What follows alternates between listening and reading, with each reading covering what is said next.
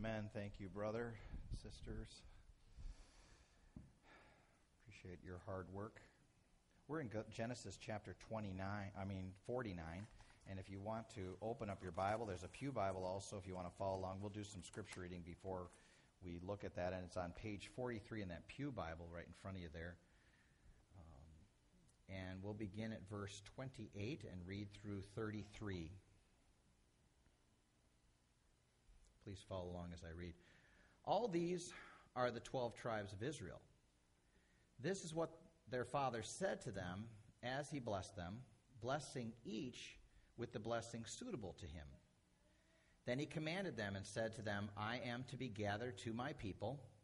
Bury me with my fathers in the cave that is in the field of Ephron the Hittite, in the cave that is in the field of Machpelah to the east of Mamre, in the land of Canaan, which Abraham bought with the field from Ephron the Hittite to possess as a burying place. There they buried Abraham and Sarah his wife. There they buried Isaac and Rebekah his wife. And there I buried Leah.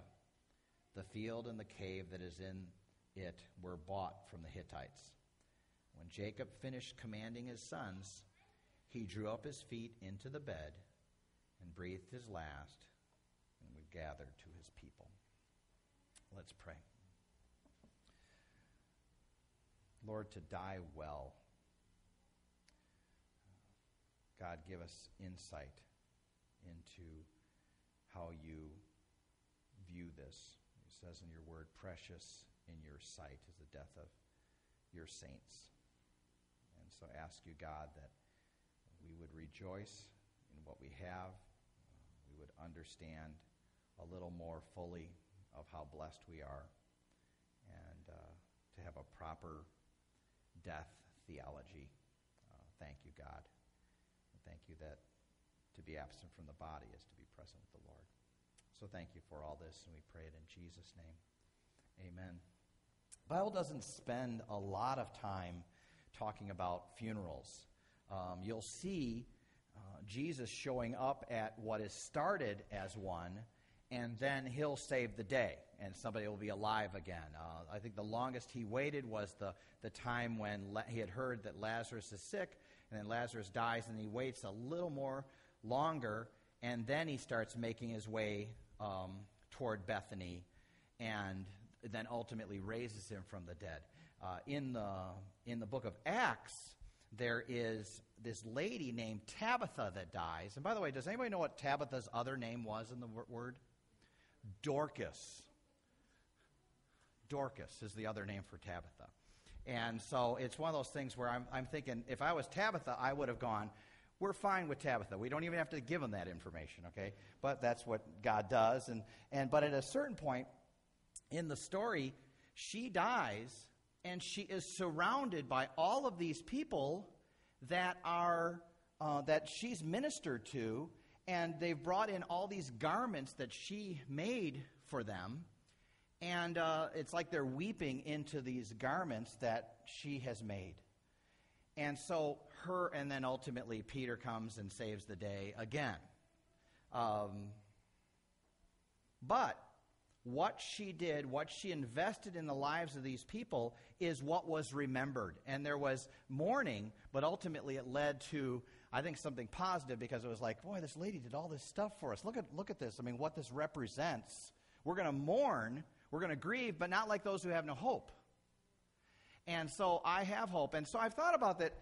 This and th- this will be this week, talking about when he dies and then his burial um, we'll talk about that next week. So you're like, ooh, this is exciting. Good death talks. Thank you, Pastor Mark. Um, but, but, he's, but he's got it in the word for a reason. He wants us to see how we as believers should die. Uh, and, and do you think about that? Do you think about yourself with that? I mean, I, I'm, I'm on the end run.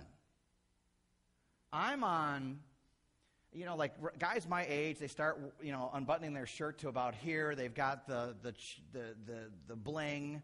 They they um, they've got the Corvette, the the um, the, the convertible, and they're calling that a midlife crisis. Now, that's true. I'm going to 106, all right? So it isn't a midlife crisis. A midlife crisis should hit around, in our time, around 35, 36, but don't think about it. If somebody's sitting there going, hey, I'm around that age, don't. All right? I'm going to play the lottery. Let's see what happens. All right? Um, but have you thought about that in the area of, like, I've even told Kim, like, if I die, if I were to die today, I'd want to be buried in Warrenton.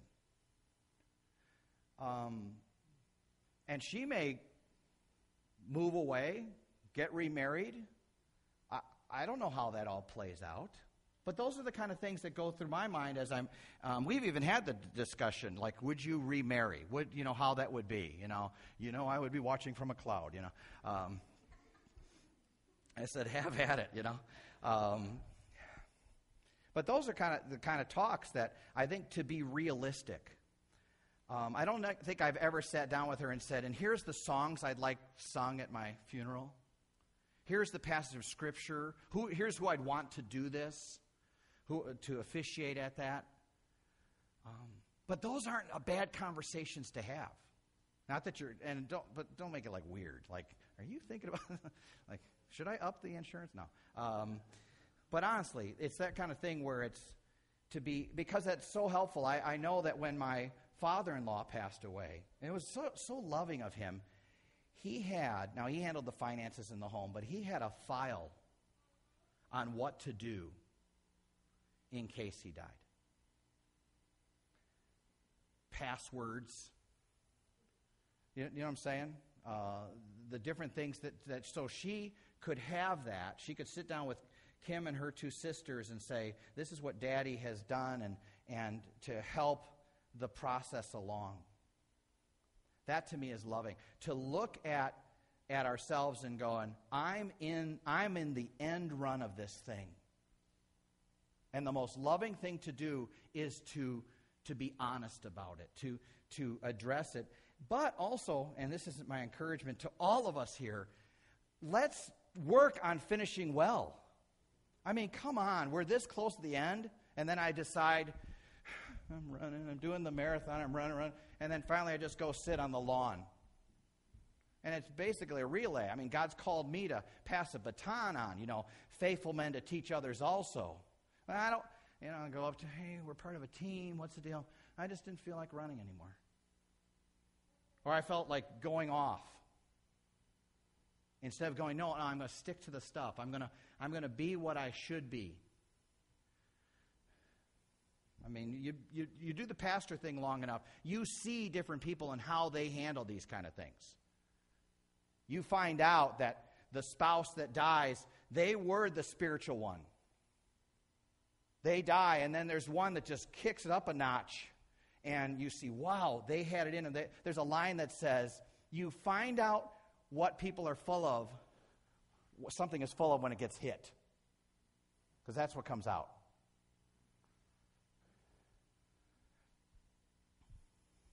And so I've seen the couple where the one goes on, the one dies, and the one goes on, and you're like, wow, they, they, they were both into this thing called Christ. They, they, and they just keep going on. Not that they're happy and they're rejoicing, but they love the Lord and they're serving the Lord. And then there's the one that that one dies and you don't see him again.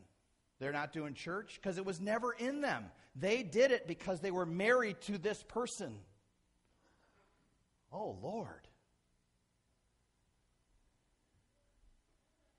And so when we look at a passage of scripture like this, we go, Father, help me to live well and die well. And if that seems morbid to you, it's just being honest. Because this is a man who got it. Who, let's face it, he was a piece of work. Early on, just from the get go, he's, gra- he's tripping up his brother coming out of the womb. He's that kind of kid you want to slap him.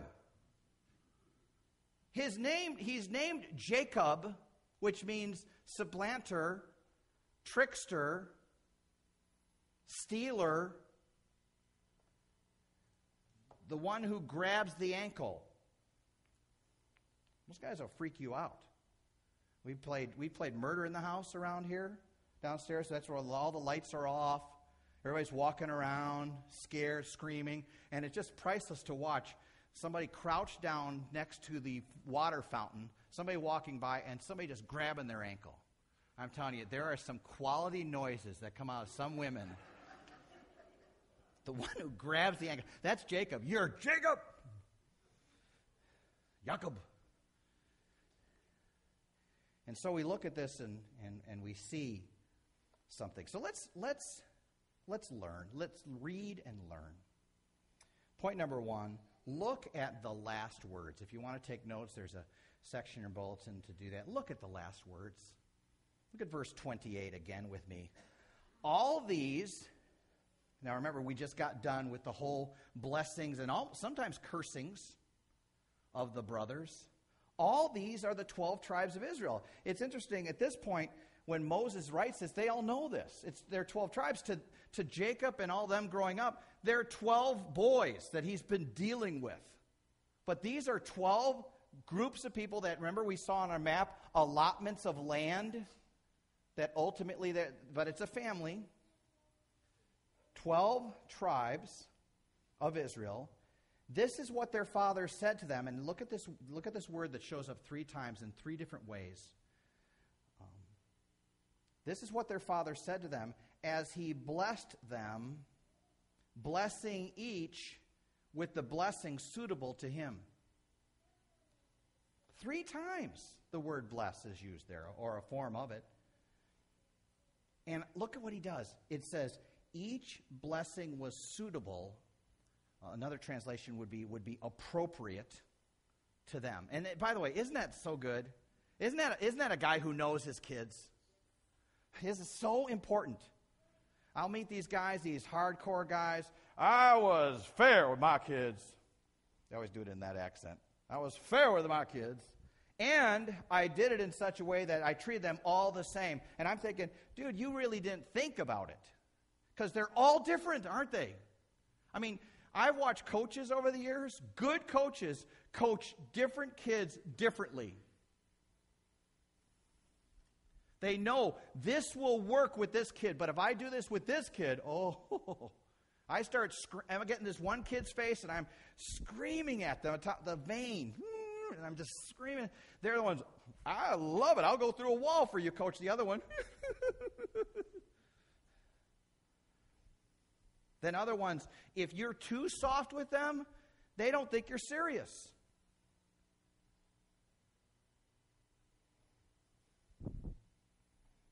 Now, that's not even talking about parenting. That's just coaching. Talk about parenting. And I know there's times when, and kids, you got to give it to us on this one. This one I know is hard because while you're watching it, you're going, you, you treat her so different than me. She always gets away with stuff. And she might. But it might also mean that um, she actually gets it after a look.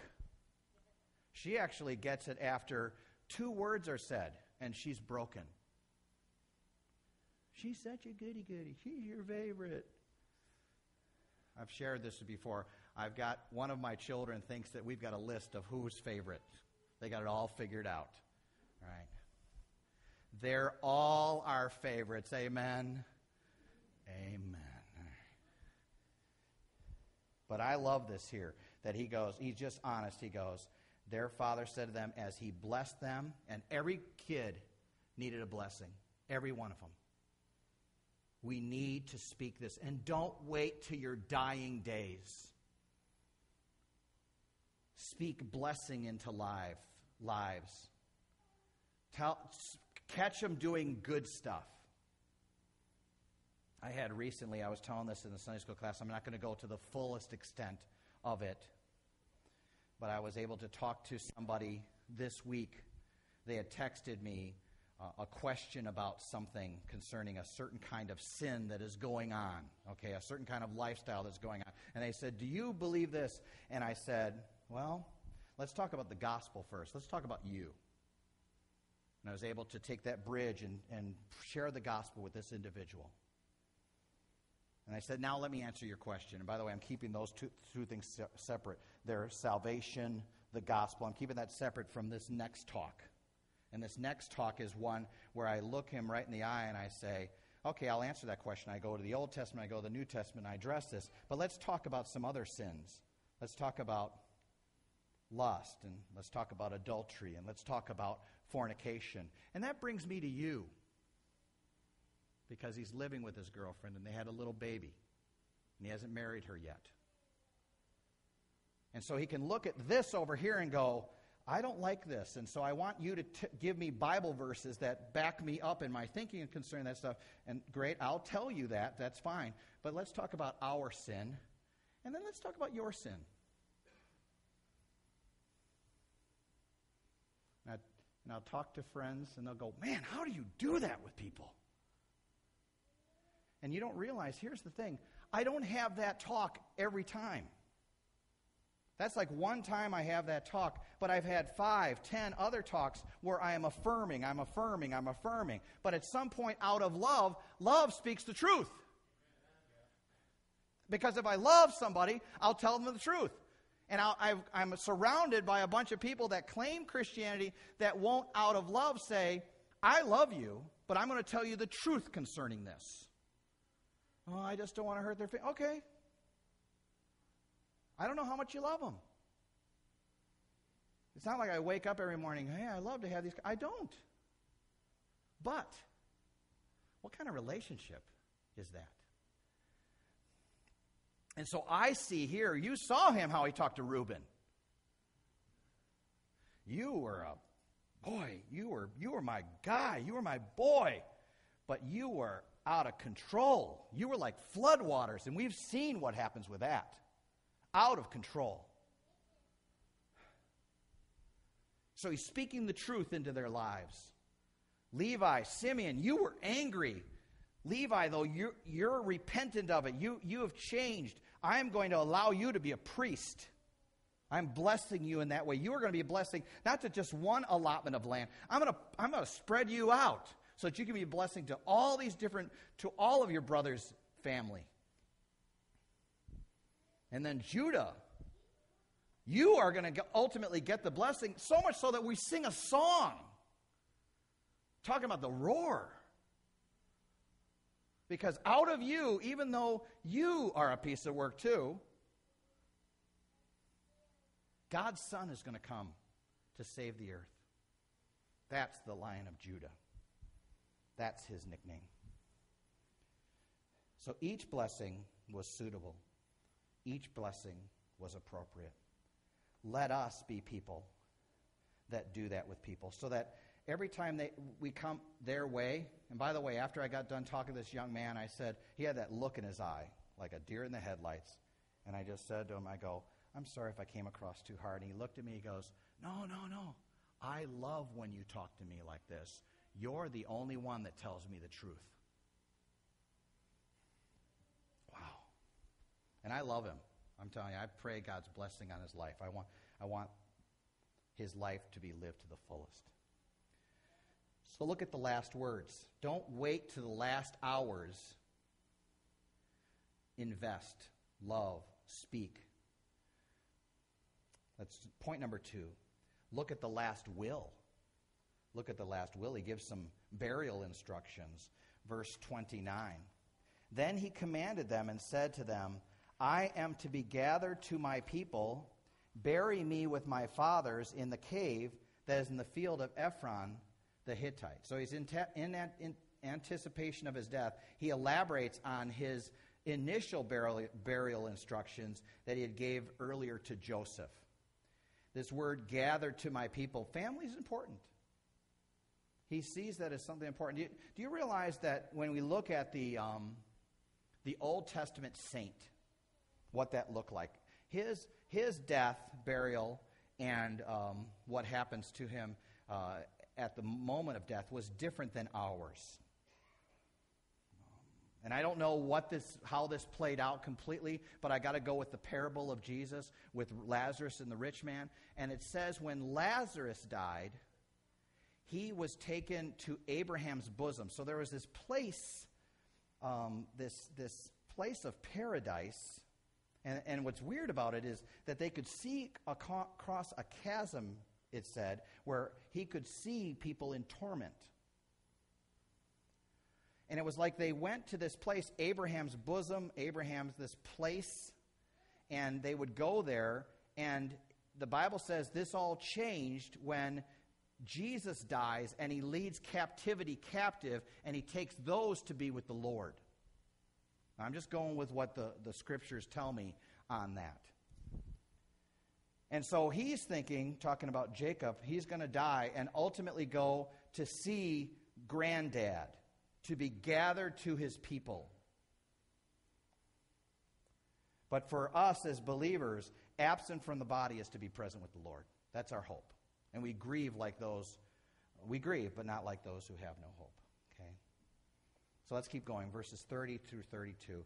In the cave that is in the field at Machpelah to the east of Mamre in the land of Canaan, which Abraham bought with the field from Ephron the Hittite to possess as a burying place. By the way, Abraham was rich, like really rich. And this is the only thing he bought and owned in all the Bible. And it was a burial plot. There they buried Abraham and Sarah, his wife. There they buried Isaac and Rebekah, his wife. And look at this. And there I buried Leah. So this isn't where Rachel's buried. Rachel's buried, remember? When uh, Benjamin, in childbirth, she dies, she's buried in Bethlehem, around Bethlehem. And this was not the wife that he was like really, really in love with. But this is where he wants to be buried verse 32 the field and the cave that is in it were bought from the hittites. So he's getting across the point that this this is where i this is where i want to be brought. He tells them how this came about. Uh, this this arrangement that was set up by abraham it was bought from hittites and it wasn't through conquest or being a squatter Honor was finally given to Leah in death and in Jacob's request to be buried alongside his wife, as were his father's. Burial alongside Rachel, the beloved wife's wife, was not requested. And so that he's, he's, he's making it very plain and clear. I said this stuff to, to Joseph, and now I'm telling it to all of you guys. This is what, when I came, when I came to Egypt, when I came here, I, I held you guys to this. I want to be buried here talking about Canaan, because this is a testimony. Me being buried here is a testimony of what God has promised. And I'm telling you, as 400 years or however goes by, and people would walk by and they go, Yeah, there's some guy buried there. And these people actually believed that they own this land. And, and, and for years, it probably was mocked. Yeah, these bunch of people showed up from Egypt, and there was this big fanfare that we'll look at next week. And but really nothing's come of it. In fact, what I've heard, they're down there right now, they're building pyramids. And they're building them not at, like they want to build them, they're in slavery. But God. And that's the testimony of our death.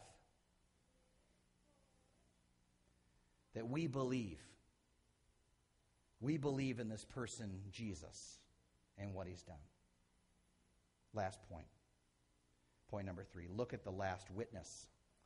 Verse 33. When Jacob finished commanding his sons, he drew up his feet, and it's like he's sitting on the side of the bed. It's such, such a picture. He's sitting on the side of the bed, he's talking to them, he's laid his hand on it, he's talked to them, and just, just the love and things along that line. And when he's done, he just lays down and pulls up his feet. That sounds so comfortable to me. Drew up his feet into the bed, and breathed his last, and was gathered to his people. This is a sweet benediction. Um, drew up his feet, breathed his last, gathered to his people. What a great picture. Uh, you know, as you and I look at this, um, why why does Jacob get so much recognition? I know for a while we've been dealing with Joseph. I, I understand that. But his, Jacob's still been around. He's been alive, and, and he still shows up, and he's showing up at these last two chapters here. Why does he get so much? And, I, and I'll tell you why. And this, this comes back to what we believe here. Why would we even preach through the Old Testament? Why would they? Because the gospel keeps showing up. Jesus keeps showing up. Um, why is Jacob important? Because Jesus is important. And so if you miss anything here, this he keeps coming up in stories. Ultimately, it's like I don't know. Yesterday, if you went to fireworks, did anybody go to fireworks? Um, you ever you you know when the finale is going to be coming? Do you know that? I mean, you could just sense it. I I, I always kind of have this thing where I always start. I always start singing "Love American Style" when the when the, the fireworks are going on. If you don't know, look up "Love American Style." What an amazing show! Okay, but there's fireworks and oh, American Style, and Kim just hits me, and I just love it because I'm weird. Um, but so these fireworks are going on, and at a certain point, you know the ultimate firework that's going to show up.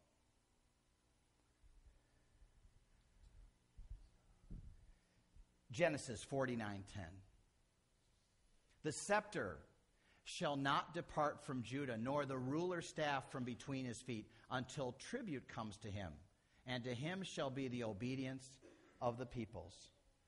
Boom.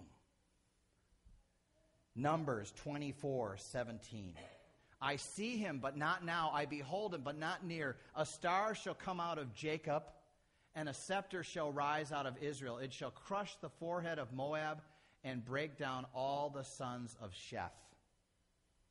Boom. 2 Samuel 7 12 and 13. When your days are fulfilled and you lie down with your fathers, I will raise up your offspring after you, who shall come from your body, and I will establish his kingdom. He shall build a house for my name, and I will establish the throne of his kingdom forever.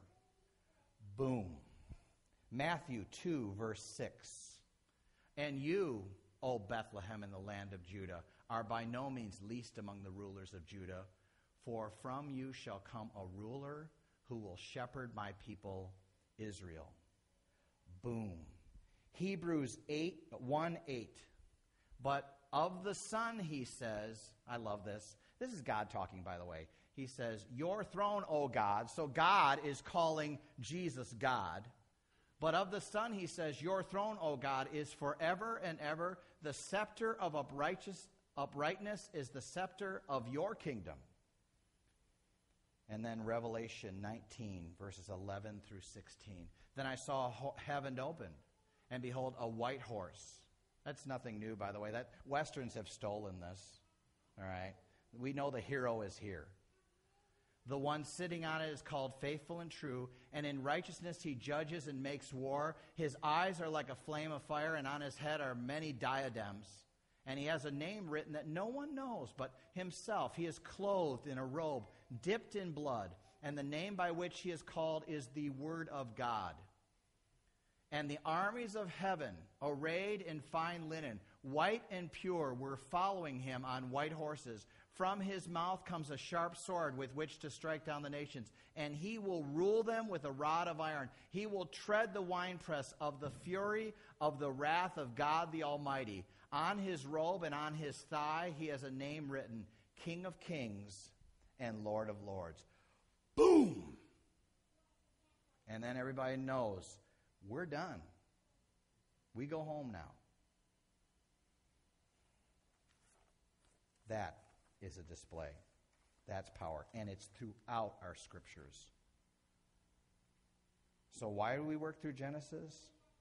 Is because we're looking at Jesus. Let's pray. Lord, thank you so much for the truth of the gospel. Thank you for this display of power. Thank you for how bright it is, for how loud it is, for how honest it is. And we are mesmerized by the beauty of it.